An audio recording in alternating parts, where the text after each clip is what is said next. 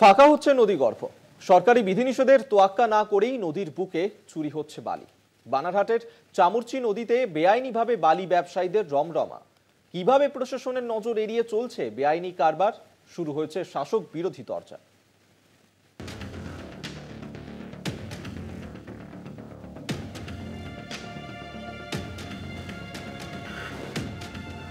এইভাবেই প্রকাশ্যে জেসিবি আত্মবার ব্যবহার করে চলছে বালি চুরি বানারহাট ব্লকের অন্তর্গত ভুটান সীমান্ত লাগোয়া চামরচি নদীর ছবি। সরকারি বিধিনিষেধকে বুড়ো আঙুল দেখিয়ে নদীর বুকে রমরমিয়ে বালি চুরির ব্যবসা। ফলে নদীর বুকে তৈরি হচ্ছে বড় বড় গর্ত। পরিবেশ প্রেমীদের অভিযোগ, অবৈজ্ঞানিক পদ্ধতিতে বালি পাথর তোলায় নদী তার গতিপথ হারাচ্ছে। গিয়ে জিসিবি লাগিয়ে যে হারে মাল তোলা হচ্ছে, তাতে একটা সময় বাস্তুতন্ত্র নষ্ট হবে, নদীর গতিবিধিটা চেঞ্জ হতে পারে এবং ওই এলাকাগুলোতে যে বিনা একটা যে সিস্টেম থাকে যে এতটা কাটা যাবে, এতটা কাটা যাবে না, কিন্তু সেখানে যে হারে গর্ত করা হচ্ছে নদীগুলোতে, সেখানে কী হবে?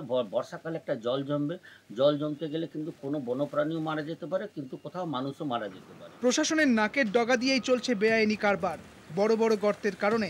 পর্যটন দপ্তরের চামরচি ইকো ট্যুরিজম পার্কও বন্ধ হয়ে গিয়েছে। প্রশ্নের মুখে পুলিশ প্রশাসনের ভূমিকা। বালি চুরির জন্য শাসক দলকেই কাঠগড়ায় তুলেছে বিরোধীরা। পাল্টা সাফাই শাসক দলের। আইনগত বিরোধী কাজ হচ্ছে এবং প্রশাসনের নাকের ডগায় এই ঘটনা ঘটছে এবং আমরা মনে করি তৃণমূল কংগ্রেসের লোকজনের সাথে যুক্ত রয়েছে এবং পুলিশ প্রশাসন থেকে শুরু করে প্রশাসনিক আধিকারিকরা নিশ্চুপ হয়ে আছে। তার মানে একটা বড় অংশের টাকা তাদের পকেটে ঢোকে। কালে গরম সেটাও তৃণমূলের দোষ দিচ্ছে। বিজেপি কি কি কি বলল সেটা নিয়ে বড় বক্তব্য নয়। যারা এর সঙ্গে যুক্ত আছে সেটা যে রাজনৈতিক দলেরই থাকতে পারে কারণ রাজনৈতিক ঝান্ডা নিয়ে তো আর কেউ যায় না ওই কাজের সঙ্গে যুক্ত।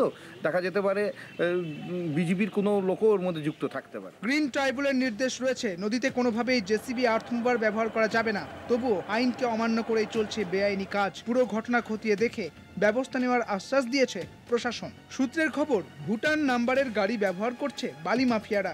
প্রশ্ন উঠছে, অবৈধ বালি পাচার চক্রে কি আন্তর্জাতিক বালি পাথর মাফিয়াদের যোগ রয়েছে? বানারহাট থেকে শুভজিৎ দেবনাথের রিপোর্ট, কলকাতা টিভি।